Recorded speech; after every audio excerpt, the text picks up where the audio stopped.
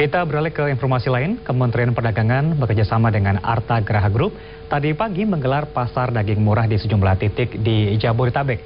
Operasi pasar murah dilakukan untuk membantu warga agar bisa membeli daging sapi dengan harga yang lebih terjangkau.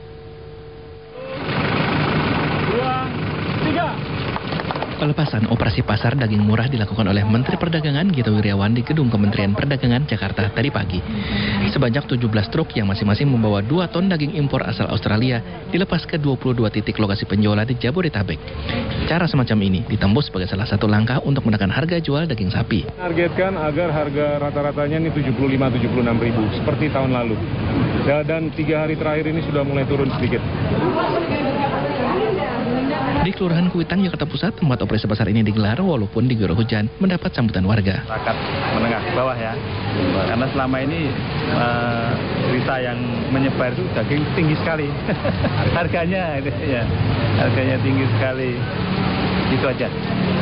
Membantu nggak Pak? Sangat-sangat membantu, sangat-sangat membantu uh, masyarakat kecil lah, terutama menjelang Lebaran ini. Rencananya, operasi penjualan daging murah akan terus digelar sampai menjelang Lebaran. Abdul Haris, Indosiar, Jakarta.